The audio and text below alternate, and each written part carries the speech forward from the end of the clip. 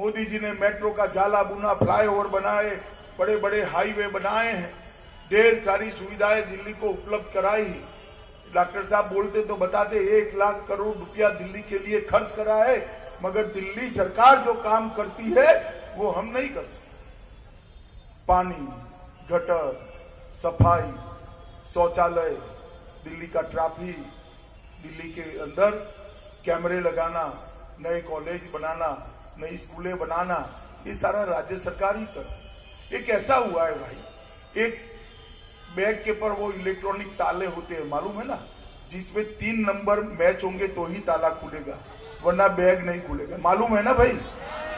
तो आपने पहले ताले में एक नंबर कर दिया, तीसरे ताले में एक नंबर कर दिया, और बीच के तारे में बीच ज़ीरो लगा दिया।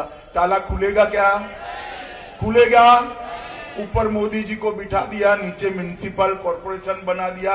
इन्होंने तेरह हज़ार करोड़ रुपया म्यूनिसिपल कॉरपोरेशन को दिए ही नहीं।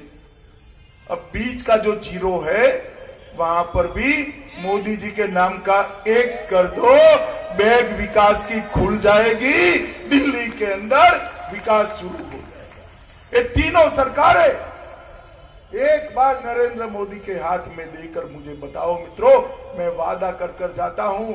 हम वादे के पक्के हैं, जो बोलते हैं वो करते हैं। और मोदी है तो?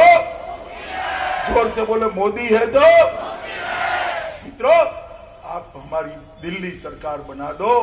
पाँच साल के अंदर विश्व की सभी राजधानियों में सबसे अच्छी राजधानी अपना दिल्ली बनेगा।